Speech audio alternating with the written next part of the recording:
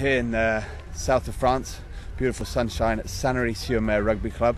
Just trying to do, trying to illustrate a little bit about pressure and stress and dealing with it. And for me, that involves being on the field and kicking a few balls.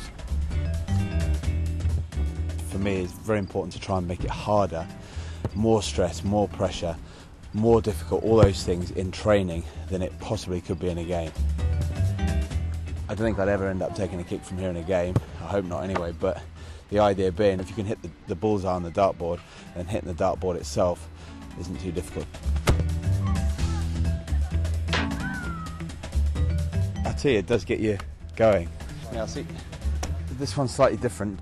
Again, another very, very specific aim to try and land the ball on the crossbar.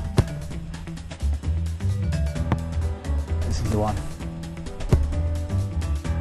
Trying to hit that kick, you know, professional pride means the butterflies are flying around, and it's not a bad thing.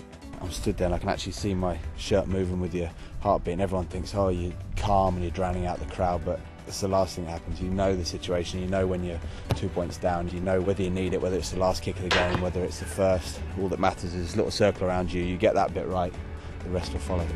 If you can get comfortable with being under pressure, being anxious and nervous, then it becomes something more that, that you know is second nature and a bit more instinctive.